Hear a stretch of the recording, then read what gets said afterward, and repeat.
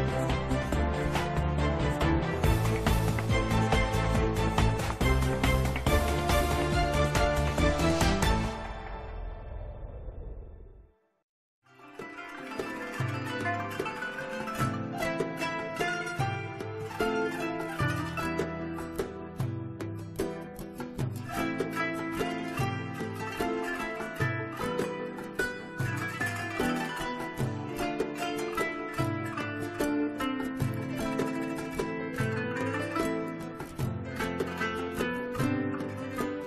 السلام عليكم.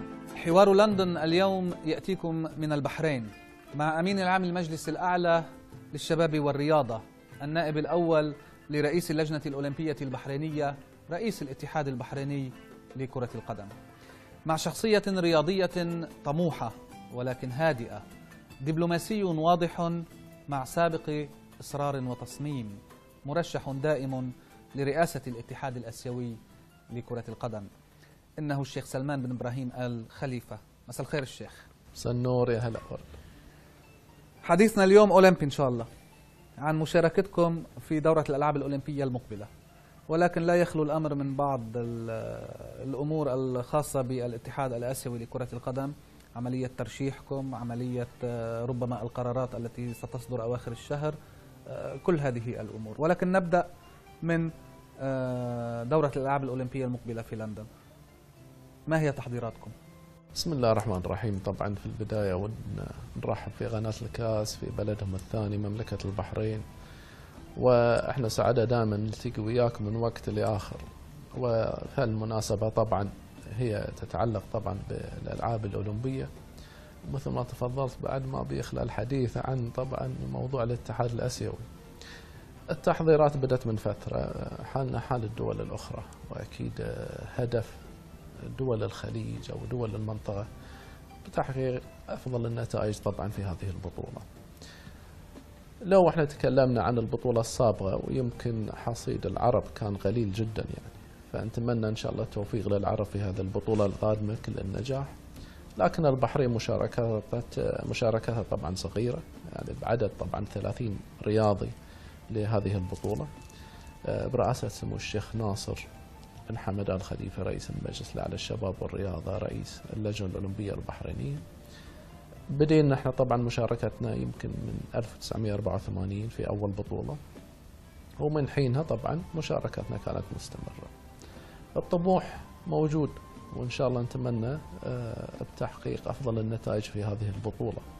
ويمكن أنا أعتقد الإعداد بالنسبة للألعاب القوة يمكن هو هدفنا أن إحنا نحقق شيء فيها. والأمل فيهم كبير. ومع ذلك عندنا طبعا أول مشاركة نسائية طبعا بالنسبة للرماية.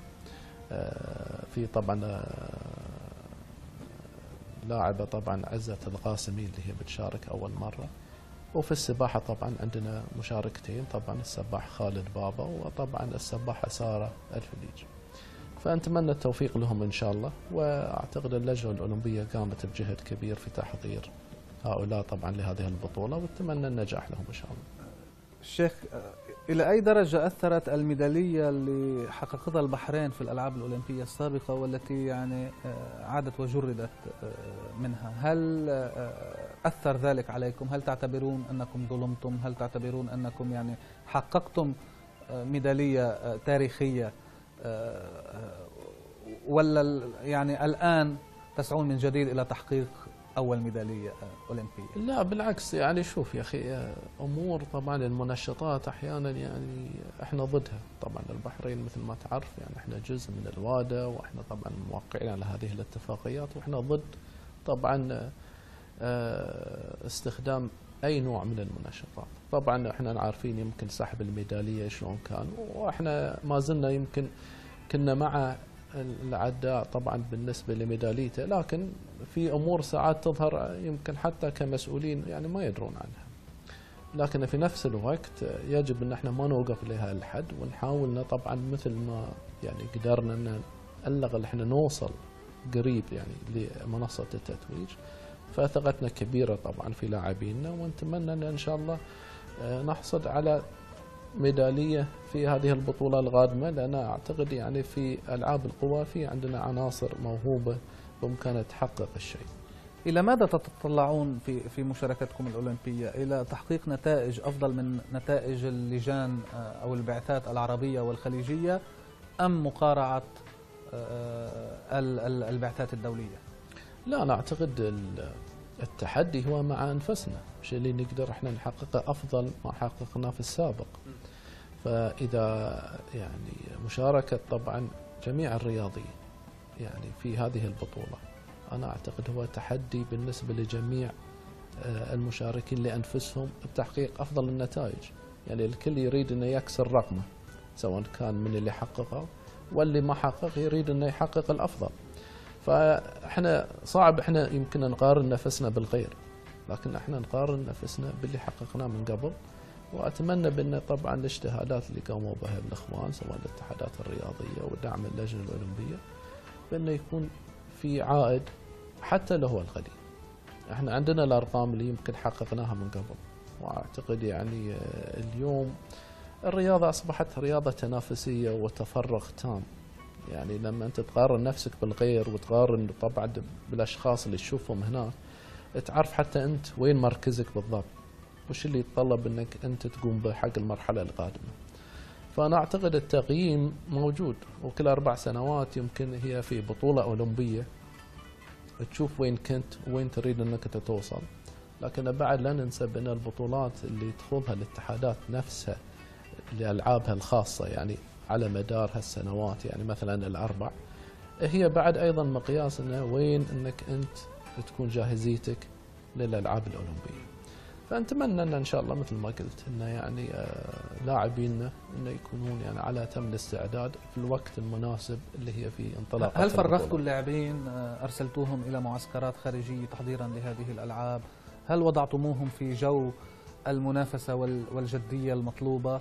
آه، هل أمنتم لهم يعني ال- الوسائل المادية آه، لكي يرتاحوا نفسيا إذا صح التعبير؟ أنا أعتقد بأنه يمكن عندنا أغلب العدائين مثلا اللي عندنا اليوم في سويسرا متفرقين يعني سواء كان في معسكراتهم عشان الاعداد لهذه البطولة. وكذلك طبعا كل اتحاد يقدم برنامجه طبعا لهذه المشاركة وإحنا ما نتكلم بس للألعاب الأولمبية فالدعم متواصل على مدار السنة لإعداد لاعبينا يعني لا يمكن ان أنت مثلا تعد الرياضي لبطولة كل أربع سنوات طبعا. فأنا أعتقد برامج الاتحادات واضحة للأربع سنوات القادمة وإحنا علينا كمسؤولين سواء كان في المجلس الأعلى أو في اللجنة الأولمبية إن شلون ندعمهم بالنسبة لمشاركتهم لتحقيق أفضل النتائج سواء البطولات الإقليمية أو الدولية أو حتى أيضا في الأولمبياد.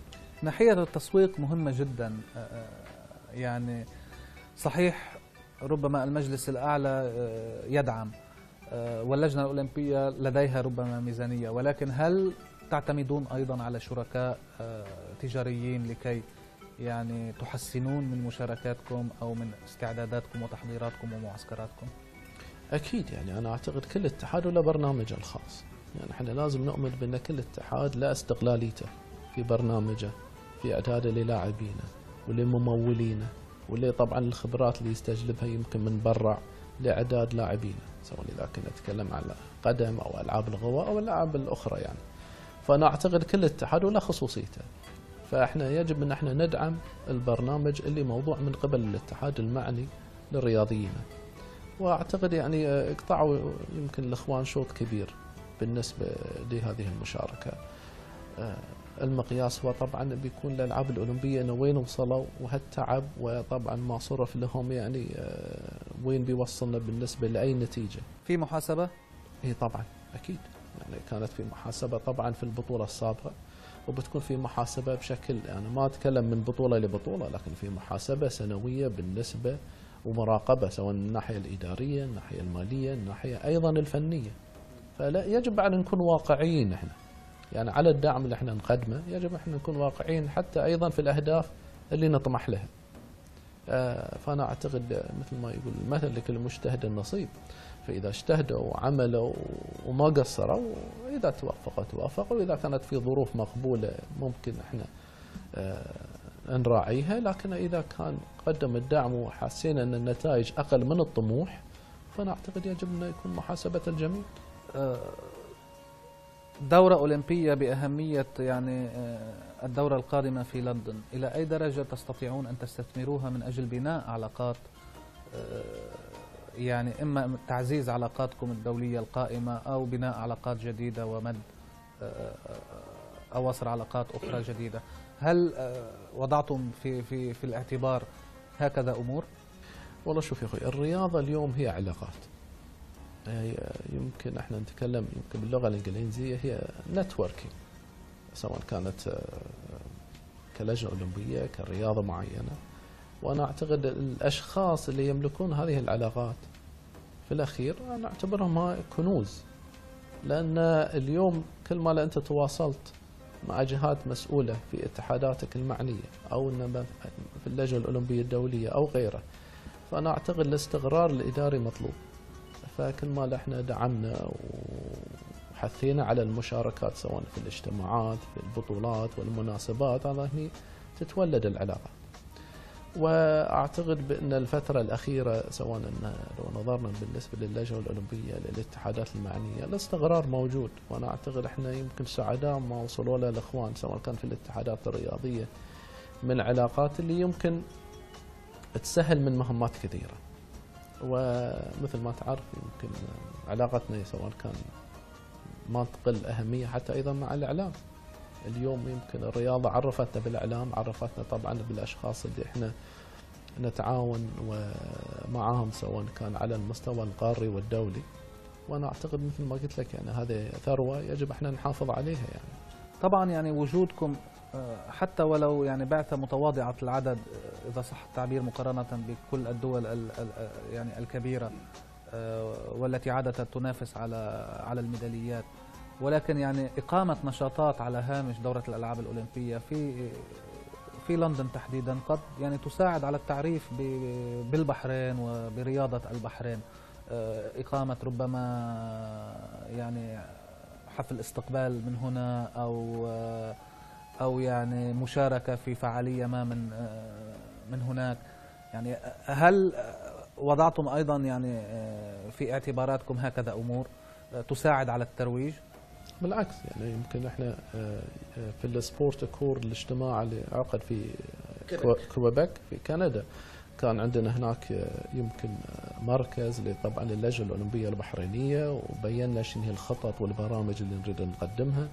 الهيكله الجديده بالنسبة للجنه الأولمبية اختلفت عما كانت قبل فهي الحين جهة أهلية ولها دورها ولها محاسبتها لل- للاتحادات الرياضية.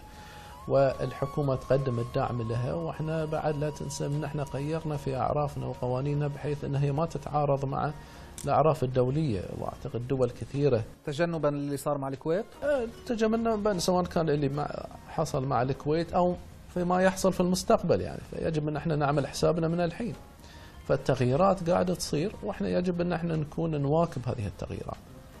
فلله الحمد أعتقد هناك في تفاهم تام من قبل الحكومة يعني طبعا بالنسبة لاستقلاليه هذه الاتحادات وعدم تعارض القوانين المحلية الرياضية مع طبعا آه، الميثاق الأولمبي الدولي. وأنا أعتقد هذا إحنا راعيناه ومثل ما كان الفيفا يعني ما يريد إن عدم التدخل الحكومي بعد أيضا في اتحاد كرة القدم فأنا أعتقد أصبحت الرياضة والاتحادات الرياضية تريد استقلاليتها نعم إذا كان هناك في دعم طبعا من جانب الحكومي لكن أيضا بعد هناك في استقلال إداري له. وفي محاسبة مالية طبعا من قبل آه، الجهة اللي هي الشيخ ألا ترى أيضا أنه في مبالغة في موضوع الاستقلالية آه، خاصة عن الحكومة أو عن الحكم إذا صح التعبير؟ يعني آه، من يدفع أو يمول ألا يحق له من حيث المبدأ أن يحاسب. ويتدخل هذا أولا؟ سياسة البلد يعني ربما كل الناس آه، مع سياسة البلد آه، رؤساء اتحادات أو رؤساء لجان أولمبية ولكن قد في المستقبل يعني يأتي شخص يريد أن يقول أنا مستقل ولا أريد أن أسمع من الحكومة وبالتالي لا تستطيع أن تتصرف معه. أليس من المفروض أن يكون هناك ضوابط ما في, في, في هذا الأمر؟ أعتقد اللجنة الأولمبية الدولية وضعت هذه الضوابط. يعني إحنا يجب أن أعتقد الاجتماع اللي صار في موسكو بين وزراء الشباب والرياضة ممثلين للجان الأولمبية. طبعا آه، في دول العالم. يعني كانوا يريدون ان يحطون الضوابط أو ان ما هي العلاقة بالضبط. يعني إحنا يجب أن نرى أن هناك في شراكة بين الجانب الحكومي والجانب الأهلي.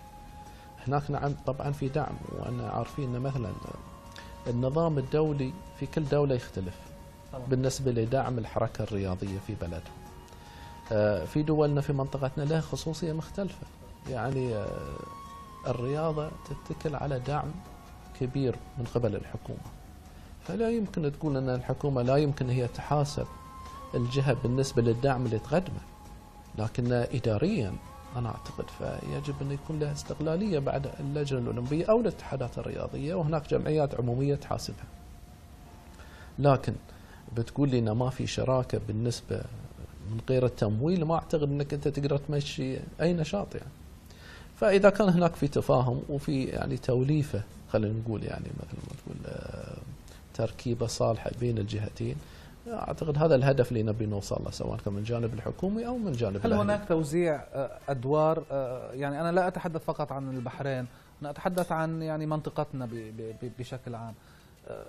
ربما نأخذ البحرين مثلا هل هناك توزيع أدوار على الأجسام الرياضية يعني لجنة أولمبية مجلس أعلى اتحادات أم هناك قرار رياضي آه، يأتي من جهة واحدة فقط؟ لا بالعكس. لا الحمد لله. أنا أتكلم عن البحرين. ولله الحمد هناك في تفاهم تام بالنسبة للجانب الحكومي والجانب الأهلي بأن كل يأخذ اختصاصه. والكل بعد أيضا له محاسبة بطريقة ما.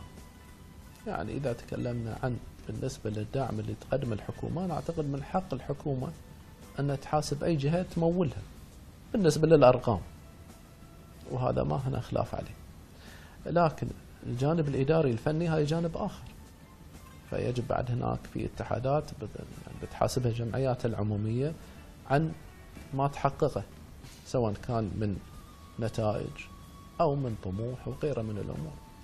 فهذا الشيء يعني آه، مثل ما قلت يعني برجع بقول يعني كل دولة لها خصوصياتها لكن لله الحمد أنا أعتقد في البحرين التفاهم هذا موجود بين الجانب الحكومي والأهلي وإن شاء الله يستمر على هالطريق. هل استثمرتم بالشكل ال- ال- المناسب أو الذي ترونه مناسبا آه، إقامة آه، تظاهرات أو بطولات كبرى في البحرين كسباق الفورمولا 1 للتعريف أكثر بالبحرين ولنشر الرياضة آه، رياضة البحرين على الصعيد الدولي. هل تمكنتم من آه، يعني تثبيت ذلك؟ أنا أعتقد يمكن إحنا في البحرين الأولوية بالنسبة للمشاريع يمكن للمواطن أكثر بالنسبة للرياضة. يعني آه، لكن يمكن الرياضة آه، سباق الفورمولا والسباق الأخير يعني, يعني آه، بالذات أنا أعتقد هو كان من أنجح السباقات اللي مرت على السنوات الأخيرة سواء كان من الحضور بالذات يعني. يعني أنا كنت موجود و يعني لما الحضور يوصل ل 50 ل 60 ألف آه، مقارنة بالسنوات الأخيرة الأخيرة كان يمكن أقل من 20 ألف فأنا أعتقد هذا نجاح كبير. آه، لكن هي تظاهرات أكيد إحنا نفتخر فيها لأن أنا أعتقد يعني حطت البحرين يعني على يعني موجودة في خار- خارطة العالم بالنسبة لها السباق والتنظيم أيضا. يبقى عاد خلينا نقول التظاهرات الرياضية اللي نتطلع لها يعني سواء كان خليجي 21 في يناير القادم. آه، البطولة الخليجية الأولى اللي قيمت طبعا آه، السنة الماضية.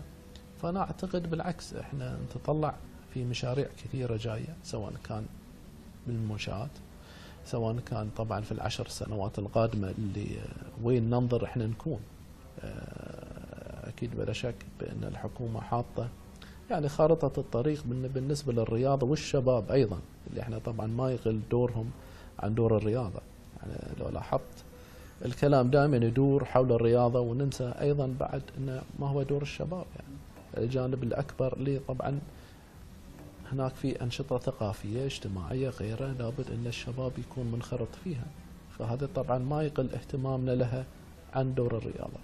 عدم وجود آه، أو تواجد منتخب البحرين في دورة الألعاب منتخب البحرين لكرة القدم آه، في دورة الألعاب الأولمبية المقبلة. قديش آه، إلى أي درجة يعني أثر اولا عليك شخصيا أثر على المشاركة البحرينية بشكل عام؟ هل كنتم تعتبرون أن حظوظكم كانت جيدة لكي تصلوا إلى إلى لندن؟ وهل صحيح أنه يعني تدخلك المباشر في اتحاد كرة القدم يعني قل كثيرا آه، عما قبل وهناك دور آخر للشيخ أو دور جديد للشيخ علي مثلا آه، آل خليفة لكي آه، نائب الرئيس لكي آه، يكون له حرية أكثر في في التعامل مع اتحاد كرة القدم. هل يعني اهتماماتك شغلتك شوي عن اتحاد كرة القدم اهتماماتك الأخرى؟ شوف يا أخوي آه، بالنسبة للشق الأول لسؤالك آه، ما يتعلق طبعا يعني عن عدم وصول الفريق آه، لأولمبياد لندن. إحنا واقعيين بالنسبة لمستوى الفريق اللي قدمه. آه، خاصة أنكم منافسين كنتوا على أكثر من مرة على الصعود إلى نهائيات كأس العالم يعني ولعبتوا مباراة الملحق. طبعا إحنا يمكن شاركنا طبعا يعني تصفيات كأس العالم يعني الأخيرة يمكن مو بها هذه اللي قبلها مرتين. لكن نتكلم عن الفريق الأولمبي. أنت تعرف البحرين وضعها بالنسبة في آسيا. ما هو بذاك الوضع اللي تقول يمكن الدول الثانية لما ما توصل إنه ممكن أن تحاسب؟ لكن مع مع ذلك كنا نجتهد ودائما يعني هناك يعني الفرق بسيط بيننا وبين المتأهل. لما توصل للمرحلة الأخيرة وأنت مع يمكن اليابان اللي يمكن وضعها يمكن طبعا ما نقارن نفسنا بهم لكن إحنا دائما منافسين لهم. وهذا شيء طبعا يجب أن نكون واقعيين حتى في طموحنا. الشق الثاني. اللي هو اللي هو دور ابتعادك أو يعني لا شوف يا أخوي آه، يعني أنا أنا ما أحب المركزية. لا يمكن يرجع كل شيء لي أنا. يعني إحنا في اتحاد القدم عندنا نواب اثنين للر- للرئيس ولهم دورهم. في أمور يمكن أنا أتدخل أو يكون لي دور فيها ومسؤوليتي فيها مباشرة. في دور يعني موزعين أدوارنا طبعا للشيخ علي وهو عضو مكتب التنفيذي للاتحاد الآسيوي. طبعا وهو متابع لجميع أمور الاتحاد الفنيه والأخ أحمد نعيمي ماسك الأمور الإدارية والمالية. ففي توزيع للأدوار وهذا شيء مهم لأي منظمة خلينا نقول أو مؤسسة. فأعتقد لابد إحنا نعطيهم أدوارهم لابد إنهم بعد يكتسبون الخبرة. أعتقد أنا يمكن هذه قلت أنا هذه آخر دورة لي أنا طبعا في في الاتحاد. وأعتقد لابد إن هم يجب إن يأخذون دورهم. وأنا أعتقد في الفترة الأخيرة مو بمقصرين يعني سواء كان الشيخ علي والاخ أحمد قايمين بدورهم على أكمل وجه. لكن بعد يمكن الخبرة اللي إحنا ملكناها طبعا في خلال هالسنوات لا يمنع ان يكون لنا دور حتى في المستقبل سواء كان دور استشاري أو غيره. فبيكون لنا دور لأن مهما كان يعني أعتقد يعني 13 سنة باتحاد البحرين كره القدم آه، تعطيك من الخبرة اللي يمكن الغير بعد ما مر فيها. طيب آسيويا الشيخ. أنت مرشح لرئاسة الاتحاد الآسيوي لكرة القدم. طبعا بعد الانتخابات السابقة في عام 2009 حدثت الكثير من الأمور. آه الآن آه رئيس الاتحاد الآسيوي لكرة القدم. أنا لا أدري إذا يجب أن نقول نقول سابق أو أو لا ولكن يعني آه، رئيس الاتحاد الآسيوي لكرة القدم آه الآن آه موقوف من قبل الفيفا. ماذا سيحدث أول شيء تقنيا؟ هل ننتظر قرار محكمة الاستئناف كاس أم لكي يعني نبني على عليها بالنسبة إلى الاتحاد الآسيوي وبالتالي نرى من يترشح وماذا ستفعل مع المرشح العربي آه، الخليجي الآخر آه، يوسف السركار رئيس الاتحاد الإماراتي لكرة القدم الذي أيضا يظن آه، ويعتقد ويؤمن أن لديه حظوظ كبيرة في الفوز برئاسة الاتحاد الآسيوي. شوف في البداية طبعا ما حصل في الاتحاد الآسيوي بعد مو بواضح. يعني ما دام في قضية معلقة صعب إنك أنت يعني تكهن وين بتروح. يعني في كذا سيناريو ممكن يصير. فيعني إحنا متابعين وأعتقد هو هذا قرار يمكن هو يعني إحنا نتابعه لأن لنا مصلحة من وراء. ومو مصلحة شخصية لكن طبعا وضع الاتحاد الآسيوي يجب أن يكون واضح من قبل الجميع. فإحنا على تواصل. طبعا أنا مع الأخ يوسف ومع الاتحادات الآسيوية ككل. يعني. أنا ما بجلس هنا على الكرسي وأقول والله أنا حظوظي أوفر أو غيره. لأن ما بستقلها كدعاية إعلامية. إحنا واقعيين وأعتقد يمكن إحنا نعرف بعض كاتحادات من اللي حظوظه أوفر فأنا أعتقد الكلمة الأولى والأخيرة الاتحادات الآسيوية هي اللي بتقولها. من ترى هو مناسب أو من ترى هو مقبول. من ترى انه يعني خلينا نقول له حظوظ أكبر. إذا أنا أقول أنا حظوظي أكبر يمكن مثل ما قلت لك آه، أستغل يعني يمكن اليوم قناه الكاس عشان أروج عن نفسي وأنا ما أبغى ما ما عندنا يعني ما عندنا اعتراض. أنا ما عندي أسلوب. أنا أنا أسلوبي يعني لا عمري بطلب إنه من الاتحاد إنه يعلن وين إنه يكون تأييده. له. أنا ضد هالأسلوب. ولا بتكلم باسم الاتحادات الأخرى. ولا إن أنا بعد بقول عن حظوظي لكن أنا عارف نفسي زين. هل في اتفاق بينك وبين يوسف السركال آه، على إنه ال- ال- ال- اللي آه، يتم الاتفاق على إنه حظوظه أكبر ينسحب لمصلحة الآخر؟ هي هي واحد. والله شوف هذا مبدأ إحنا اتفقنا عليه. لكن السؤال مين بيقرر مين آه، من بيقرر إنه هو اللي حظوظه أكبر؟ صحيح. هذا طبعا أنا ما أدري يعني. هل أنا أنا أقنعه ولا هو يقنعني؟ أنا ما بعرف وما في آلية. ما في آلية. لكن أنا أتمنى بأن الأمور يعني بتتضح أكثر يعني. طيب أنا خلصت أسئلة. لا يمل طبعا من هذه ال- الجلسة اللي يعني آه، دائما يعني نحن نكون سعداء بتواجدنا معك. آه، أنا شخصيا وقناة الدوري والكأس بكل تأكيد تتمنى تتمنى لك التوفيق آه، الشيخ بكل يعني الأمور والخطوات التي آه، يعني تقوم بها. شكرا لاستضافتك لنا آه، سعداء كالعادة ويعني بالتوفيق. مشكور يا أخوي ورد. لكن أتأكد أنه ما يهمنا أن شخصية الاتحاد الآسيوي ترجع كما كانت. وهذا شيء يهمنا. إحنا كغرب آسيا وكآسيويين. إحنا الأخ محمد بن همام سواء اتفقنا أو اختلفنا معه لا ننكر أنه كان قائد للقارة الآسيوية. ويجب أن إحنا نحافظ على طبعا شخصية يعني رئاسة الاتحاد الآسيوي. بمن اللي يجي أن أولا ينهي هذا الصراع اللي في آسيا.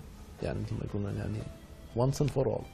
أن هي الشخص أنه ممكن يمسك هذه الرئاسة وتكون له شخصيته على القارات الأخرى.